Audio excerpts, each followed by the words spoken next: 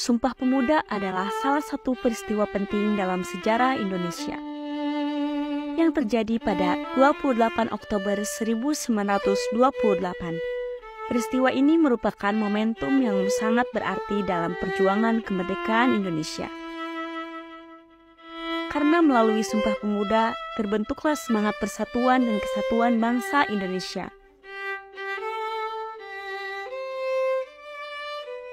Pada tahun 1928, Indonesia masih berada di bawah kekuasaan kolonial Belanda.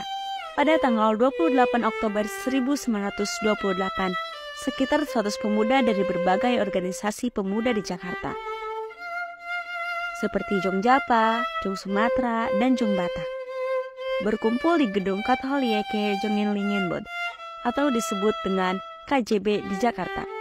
Mereka mengadakan Kongres Pemuda II yang bertujuan untuk membahas dan menyampaikan aspirasi pergerakan pemuda Indonesia.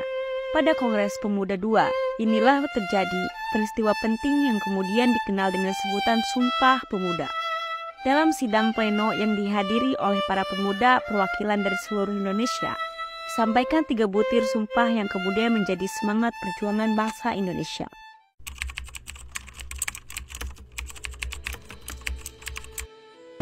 Sumpah Pemuda. Sumpah Pemuda. Kami putra dan putri Indonesia. Kami putra dan putri Indonesia. Mengaku bertumpah darah satu. Mengaku bertumpah darah satu. Tanah air Indonesia. Tanah air Indonesia. Kami putra dan putri Indonesia. Kami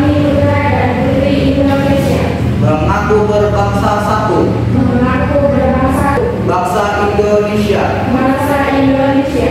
Kami putra dan putri Indonesia. Kami putra dan putri Indonesia. Menjunjung bahasa persatuan. Menjunjung bahasa persatuan. Bahasa Indonesia. Bahasa Indonesia.